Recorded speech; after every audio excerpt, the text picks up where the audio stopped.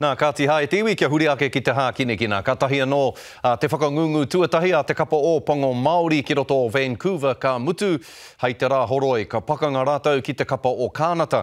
I kōrero a Tāmati Rimenes-Brout ki tētahi o ngā kaitākaro hou o te kapa ōpango Māori, me te aha, ko tōna ngākau nui ki te whutupōro e rite ana ki tōna ngākau nui ki te reo Māori. He ihupuku kua whai wāhi mai ki te whakatinana i tana tino moemoeā.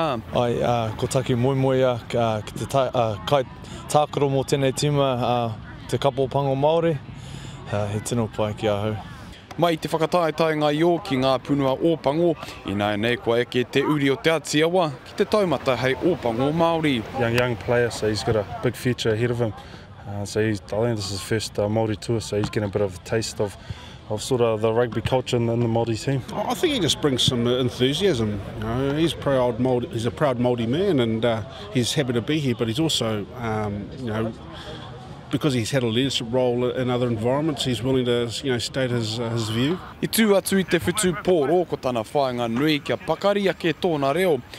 Otirā, kia whakatenatena i ōna hoa tākaro, kia tukuna te reo kia rere anō hoki. Going back to Tahi was the one that he's got a saying that he put up on the um on the team room uh, board the other day, ka mau te wehi, you know, and uh, grip the oar, so that, you know, that's something that stayed with a lot of us. Ehara tēnei i te tukinga tuatahi a te kapa Māori ki a Kānata, Engari he tuatahitanga ki tēnei whenua o Vancouver, ā, nā te poto o te wā hei whakangūngū tahi ko Te Matapae ia, ka whai wāhi nui te momo tākaro Māori i roto i te tukinga nei. We try and keep it as simple as possible so they can express themselves but you know again we realise that again you know we're here to play test match rugby and we want to you know we want to do the best we can and that that's first and foremost in our minds and You know, we don't want to lose sight of our flair, but we've got to make sure we do the little things well first.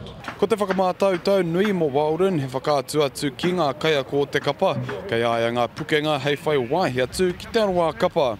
Yeah, I guess over the uh, years with Otago down there, I've really worked hard on my leadership skills. So I'm coming to this team and I'm going to bring my voice and um, a lot of communication and just work hard. I like to work hard and push myself and yeah, hopefully push myself for a spot and get a game for the Māori All Blacks would be awesome. Hei te rā pare ka whakaingoatia te kapa, ka kite hoki e hia ngā tou hou ka whiwhi i te karanga nui hei whakatinana i ngā moemoeā.